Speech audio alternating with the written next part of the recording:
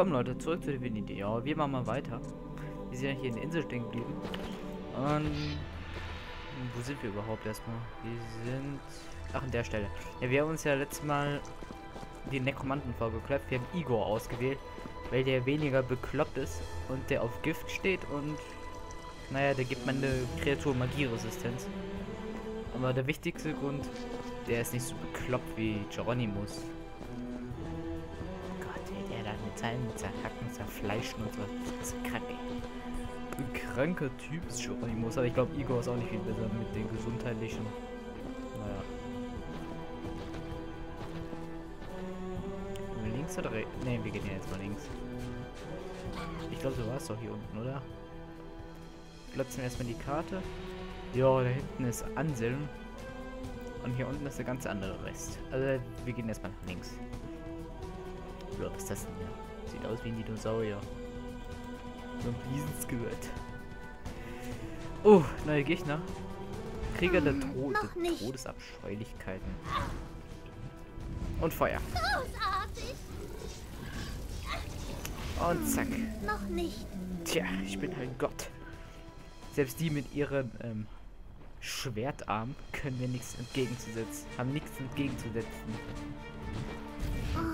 Ein Held. Oh, das könnte interessanter werden. Helden sind ja so Dinge. Aber auch nicht viel besser. So. Ich kann nicht. Wie du meinst. Du kannst fliehen, aber dich nicht verstecken von meinen Schü Schuss Schüssen. Noch nicht. So. Ähm. Habe ich hier irgendwas übersehen? Nur mal einfach so reine Routine. Ich glaube, da war doch hier irgendwas, oder? Oder.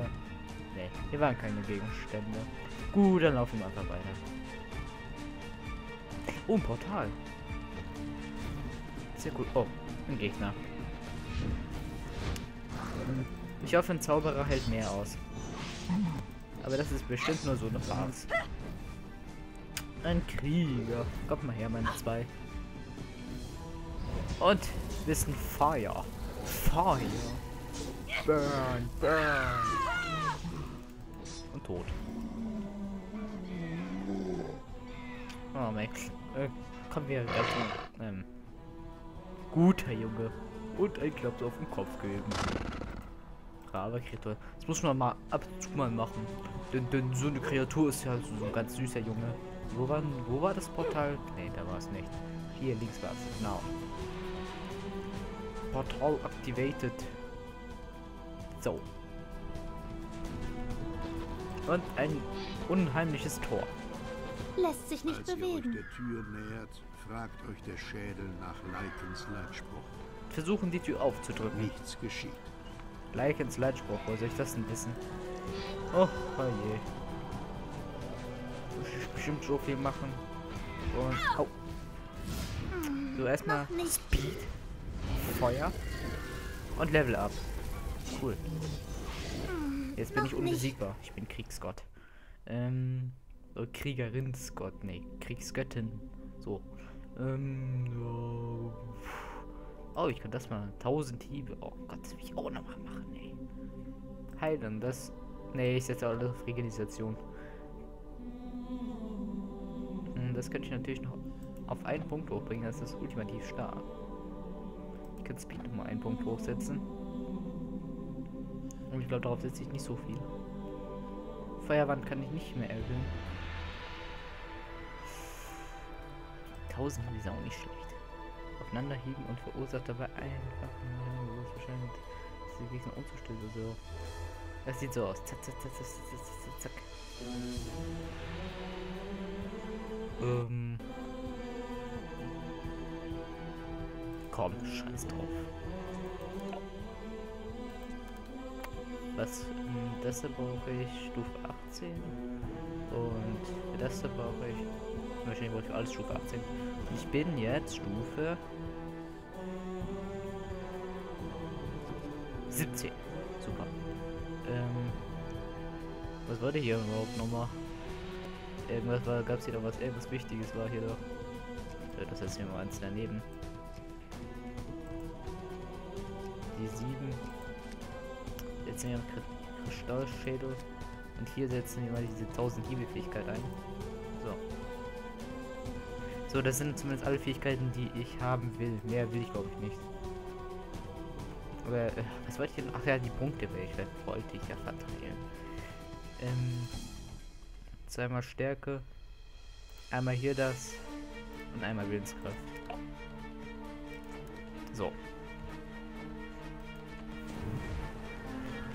Und dann wollen wir mal diese Fähigkeit mal austesten gegen irgendein Vieh. Beschießt uns denn? Hä? Die Luft? Ach, die Wivern oder wie? Ich hätte hier einen Wivern. Ähm, die Frau hat da irgendwas gesagt von Schiffswrack. Hier drin vielleicht? Topaz, ungewöhnlicher Ring. Wolfswurzelgift. Substanz, die Drachen nehmen schädlich hochgift. Nein, das, das Zeug lassen wir mal hier drin. Das sollten wir nicht finden, wir sollen ja kaputtes Erz suchen. Und nicht das Gegenteil, ich will auch nicht wirklich Inventarplatz verschwenden. Ach ja, stimmt, hier war An An Ansel, der irgendwo ja sein. Ähm, wo ist denn der Gute? Ach, da. Oh, Ton. Ich muss erstmal äh, erstmal korrigieren. Erstmal die Ton und ein Buch. Wichtiges Buch. Das ABC der Drache und solche Wickel mitnehmen. Wenn das nicht so viel ist. Tut mir leid, aber ich bin jetzt nicht wirklich so der auf Lesen hier aus. Den Nutzen. Als Reise werden die Drachen bezeichnet, so runterführt, dass sie bekannte ihr Herrschaft gelegen. Scheinbar gibt es Drachen schon immer und das zu Speckle und führt, dass sie vielleicht sogar zu Erschaffen der Kremlon sind. Baumeister, so könnte man die Drachen in Bezug auf die menschliche Kultur bezeichnen. Das gesamte Kulturerbe der Menschen geht auf die Drachen zurück, zum Beispiel Sprache, Alphabet, Herrscher, Feuer und Erfindung des Rats. Chaos, wo sie neue Chaos erkennen, haben Drachen ein ganz loses Verständnis, vor allem und damit endet dieses ABC gut. Ich hoffe, ihr habt alles gut verstanden. Also ich habe es ein wenig verstanden. Äh, tödlicher edler Stahlsteig kommt. Nee, so ein Ding will ich nicht. So, und hier ist noch ein Buch, irgendein Fertigkeitsbuch. Ansinnsforschungen. Da können wir auch die, ich, mal durchlesen. Bernstein mit Drachendorn zu mischen hatte nicht die gewünschte Wirkung. Stattdessen explodiert durch Flasche und die Spuren davon werde ich wohl nie wieder aus meiner Robe rausbekommen. Ich dachte, ein kleines bisschen Gingsinn wäre eine gute Idee. Doch der Versuch endete genauso verheerend wie damals, als ich fünf Pflanzen mit Jungfrauenblüte gemischt hatte. Der Gestank wird mir immer niemals vergessen. Also der Gute hat ein paar Experimente gemacht mit ein paar Zutaten. Also bist du ein Alchemist. Seid, seid ihr das? Möge der Göttliche meiner Seele gnädig sein. Erstmal, was denkst du? Was hast du für Fähigkeiten? Was für ein Lügner ich doch bin. Dem Göttlichen sei Dank, dass der Drachenritter nichts merkt. Wie meinst Sagt mir, guter Mann, was ist euer Beruf? Also, ähm, ich war Alchemist in Flussheim. Ein berühmter noch dazu. Oh ja, Das ist bestimmt eine Lüge. von Lüge. überall her kamen sie, um Anselms Bräu zu kaufen. Einen Trank, den niemand sonst herstellen kann. Oder das. Er macht euch stark wie einen Dämon, wendig wie einen Fuchs und schnell wie einen Adler. Oh bitte, im Namen des Göttlichen, nehmt mich. Ähm, das wäre sehr überzeugend. Dieser Trank klingt wirklich interessant. Ja, ja, das ist er. Nehmt mich, ihr werdet es nicht bereuen. Ich will mal überlegen. Was wisst ihr über diese Insel? Ich fand sie nett, bis sie mir erzählte, warum ich hergebracht wurde. Ich fand sie nett, bis sie mir erzählt, warum ich hergebracht wurde. Ja, das finde ich auch nicht so schön. Aber über die Geschichte dieses Ortes weiß ich nicht viel. Ist nicht wirklich mein Fachgebiet. Naja. Ähm, erzählt mir etwas über euren Trank. Ah ja, ähm, er basiert auf einem überarbeiteten Rezept, das ursprünglich von meinem ehemaligen Mentor stammt. Okay. Ich studierte bei keinem geringeren als Walker, dem berühmten Alchemisten aus Flussheim. Keine Ahnung, wer das sein soll. Walkers Trank war ziemlich wirksam. Aber schon bald übertraf der Schüler seinen Meister. Die Chance ist Trank eine Fälschung. Aber ich überlege mal. Womit? Alchemisten extrahieren die Re Rezepte aus geheimnisvollen Und tschüss. Büchern. Der göttliche segne euch. Hm, Der Gärtner. Na, ich muss überlegen, ob ich den nehme. Je nachdem, wie der andere Alchemist ist. Vielleicht ist es auch so ein dreckiger Arsch. Wie, wie. Äh, keine Ahnung, weil irgend, irgendwelcher der Nekromanten war, glaube ich, ein bisschen doof. Oder vielleicht irgendwie so Richard oder was ist. Ich kann nicht. Ich glaube, irgendein Necromant hat mir nicht aus irgendwelchen Gründen nicht gefallen. Ich muss mal die letzten Parts mal angucken. Noch nicht. Achso, ähm, wir werden die Fähigkeit mal einsetzen. Also sechs. Zack, zack, zack. Oh, cool. Also die lädt sich halt sehr langsam auf, merke ich.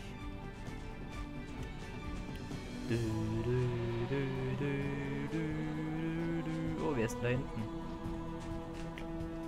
So, apropos, Moment mal. Gibt's hier Inseln? Soll ich mal echt mal die Augen offen halten? Wer bist du überhaupt? Kefui. Hallo.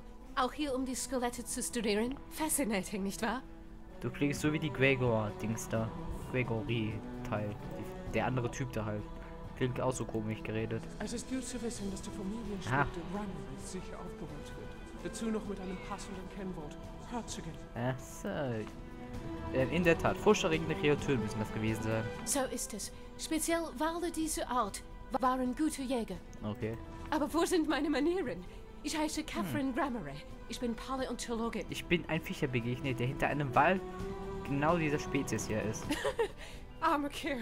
Diese Tiere sind seit Jahrhunderten ausgestorben. Wer ist dieser Fischer? Ich weiß nur, dass er Jonah heißt. Jonah? Komischer Zufall. Komischer Zauber. Ich habe hier im Brustkorb ein Amulett gefunden, auf dem steht von Lissy für Jonah. Hier, wenn ihr wollt, könnt ihr es haben. Das interessiert ihn wahrscheinlich sehr. Deswegen ist er wohl noch hier, nehme ich an. Warum sitzt er auf dieser Insel fest? Mein Schiff wurde Opfer eines magischen Zwischenfalls. Äh, Die anderen Überlebenden sind da hinten am Strand. ihr sagtet, euer Name ist Gramory. Ihr hattet nicht zufällig einen Bruder namens George, oder? Doch, habt ihr ihn getroffen? How is good old Georgie? Immer noch der emsige Archäologe, der wegen alten Statuen Leib und Leben riskiert. Ja, da- das, was ihr macht, ist ja nicht anders, oder? Oh, ich sollte ihn mal besuchen, sobald wir von dieser Insel weg sind. Es macht es nicht aus, hier rumzuspazieren, während diese Türme über euch ragt. Verstecken ist sinnlos, oder? Naja, Trotzdem sieht er natürlich ziemlich gruselig aus. Aber er könnte auch unbewohnt das sein. bezweifle ich. No, ich denke nicht, dass wir etwas von dort zu befürchten haben, sofern nicht jemand darin herumschnüffelt. Sagen Und euch, das wollen wir doch nicht, oder? sagen euch die Wörter Anwärter, Totem, Prophezeiung, irgendetwas? Oh yes, einige Besatzungsmitglieder haben dauernd davon geredet. Okay. Ich glaube kein Wort davon. Aber andererseits ist es nicht mein wohlgeformter Hintern, der auf dem Spiel steht. Naja. Warum untersucht ihr dieses es spezielle ist einfach Gesetz? das größte Exemplar, das ich jemals gesehen habe. Okay. Ich würde so gerne mehr über diesen Wal wissen. Aber leider gibt es nur sehr wenige Informationen. Kann ich euch vielleicht helfen? Solltet ihr mehr über diesen Wal herausfinden, wäre ich euch dafür unendlich dankbar. Gut. Bye, Darling. Bis dann. Ähm, aber was wir erstmal machen, ist unsere Kreatur umbringen. Wir gehen jetzt immer zum Geist zurück. Der hat sicherlich. Der, dem wird sicherlich interessieren, dass wir unser Amulett jetzt haben. Denn der Volto hatte uns ja auch irgendwas verschwiegen. So viel weiß ich noch. Mann, ich habe ziemlich gutes Gedächtnis. Ja, aber es ist schon drei Tage her. Ist auch nicht so lang. Eieiei. Mich würde immer noch gerne interessieren, wo die anderen zwei riesige Statuen waren. Ich will mal eine Alchemistenstatue finden. Und die Bezauberer. Oh, warte mal, die Alchemistenstatue war ja da oben. Suchen wir als erstes den Alchemisten. Den nächsten Alchemisten auf, würde ich mal sagen.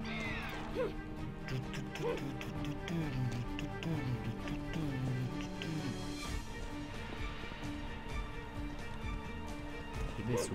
Gut, lol. Ich weiß nicht, ob ich auf dieser Insel leben will, denn der Turm ist schon ein bisschen so gruselig, wenn das ganze Zeug da rumfliegt. Sieht aber nicht so aus wie ein sehr, sehr netter Turm. Aber trotzdem. Und der Turm. Es nur eine Insel davon? Das kann doch nicht wahr sein, oder? Da muss noch irgendwo mehr geben. Hm. Ich weiß auch nur ein glücklicher Zufall. Jonah. Was kann Jona für euch tun? Sagt euch dieses Amulett etwas? Nein, das ist es. Wo habt ihr es gefunden? Im Magen eines toten Wals. Ja, warte mal. Eine Frau namens Catherine hat es in Überresten eines riesigen Wals gefunden. Dann ist dieses Monster tot. Das freut mich sehr. Auch wenn ich eigentlich nicht von Rachegelüsten geplagt war. Okay. Bevor ich über die Meere gefahren bin, habe ich meine Frau aufgrund einer Krankheit verloren. Das Amulett war alles. was mich an sie erinnert hat. Endlich habe ich es zurück. Und das ist nur euch zu verdanken. Nehmt mein Tagebuch, vielleicht wird es sich euch als nützlich erweisen. Seid gesegnet, Abenteurer, und lebt wohl. Und auf Wiedersehen. Der alte Geist und das Meer. Ähm, Gürtel. Nein, wir behalten unsere Gürtel und die Erfahrung. Und tschüss. Talaga hat nichts zu sagen. Gut. Ähm, Tagebuch. Jedes Anselm fort schon das ABC der Drachen. Vielleicht Quest, Buch der Drachen der Wahl. Geschichte, Jonah. Kann ich nicht lesen, okay.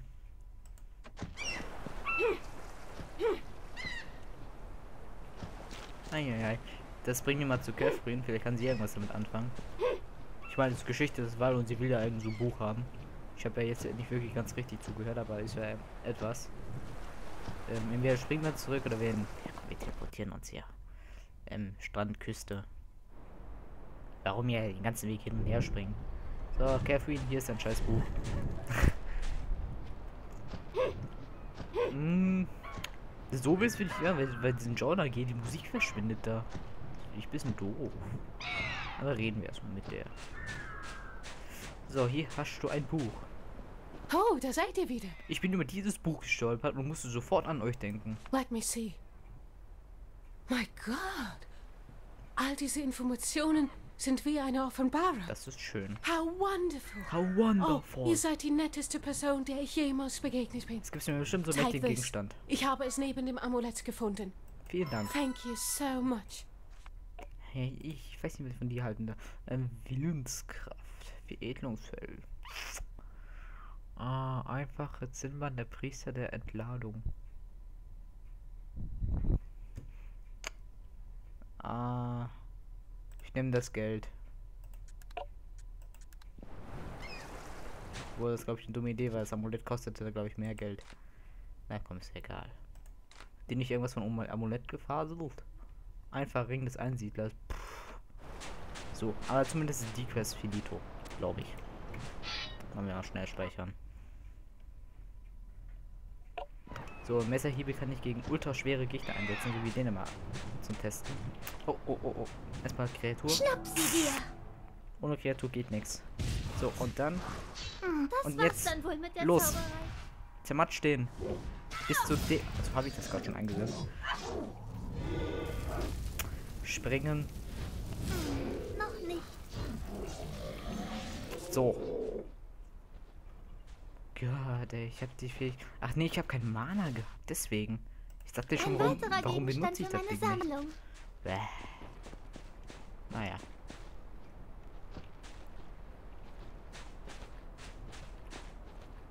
Ähm, da ist noch so ein Riesenschiff.